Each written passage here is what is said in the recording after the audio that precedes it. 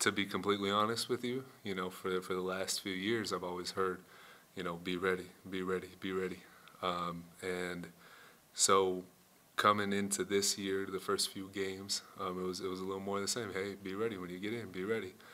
Um, but having the support that I have now, and, and having guys that, um, you know, having teammates that, that back me up, and, and the energy that I give, I pride myself in that. But it makes a huge difference when I have guys next to me who reciprocate that same energy, you know. And I think that's that was a big thing tonight. Um, I, I definitely don't think it was, you know, I got to make stuff happen. Um, it was, it was definitely okay. I, here's what I can do. I can talk.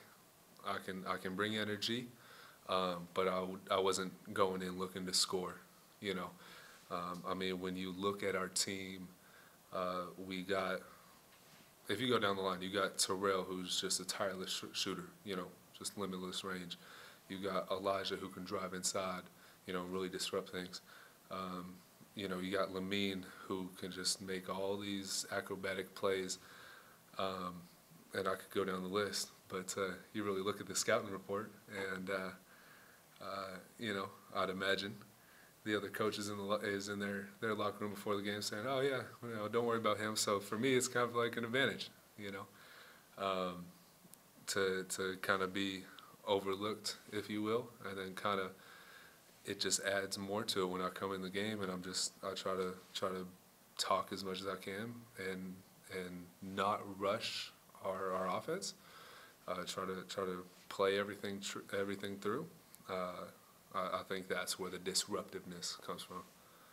My role move. It, I sat down with coach two days ago, right, and and I kind of just said thank you. You know, thank you because the role that I'm in right now, regardless of playing time, um, I get to be that fifth year guy. I get to be that guy who who you know sees the game a little differently, see you know knows the pace, and uh, I just have other guys on the team this year that are receptive to what I'm trying to what I'm trying to teach, and it goes both ways, you know. So as far as roles, I, I'm not too worried about you know being in the game the entire time, or, or maybe there's a game I do, another game that I don't play, you know that'll be for a reason. You know, it's uh, it's like special teams on, on football. You know, there's there's reasons uh, for for for everything. I think I think especially in these first few games, there's definitely been getting those jitters out. Uh, you know, and it was I had that myself tonight. You know, that first minute and a half. After that, the game slowed down. You know, okay, you know, let's stay in what we're doing. You know, I don't know if if you go back, you'll probably see, you know, I'm not as jumpy. You know, I'm not I'm not jumping at certain things. I'm I slow down a little more. You know, more solid, um, on especially on defense. You know, um, so yeah. Uh, of, of course, uh, you know, we go into the locker room and and coach said, hey, look, uh, you know, we gotta we gotta keep going because we'd already been in this situation before. Um, and so we knew that they're going to be even more scrappy, that they're going to come out and hit first. Same thing that happened with LMU. LMU, we kind of went into halftime like, you know, okay, we're going to win this. And kind of coming out with that mentality, we came out and, and they were they went full force, you know, and and we just kind of reacted to it, uh, you know, too late, a little too late.